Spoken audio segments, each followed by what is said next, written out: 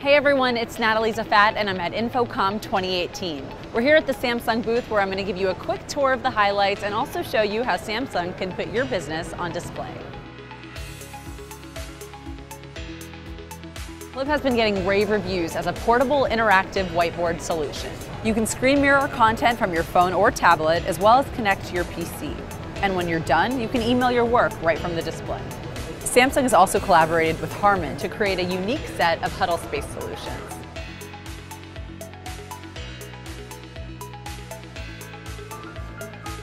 The latest addition to Samsung's LED portfolio, the Wall Professional. LED is a big trend at InfoComm this year as fine pixel pitch technology starts to gain popularity. The latest addition to Samsung's LED portfolio is the Wall Professional. This is a micro LED solution with a pixel pitch of just 0.8 millimeters.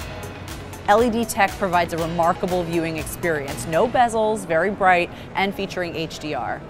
LED looks to be the future of display. Digital signage used to be like vampires, afraid of the sun.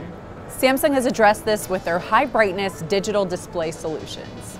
Not only are these pretty bright at 2500 nits, they come as a self-contained integrated solution that's certified to withstand the elements, heat, cold, rain, or snow. There's a cooling system, an embedded power box, and durable magic glass that protects against vandalism and graffiti. These are perfect for any business that wants to deliver an impactful message outdoors.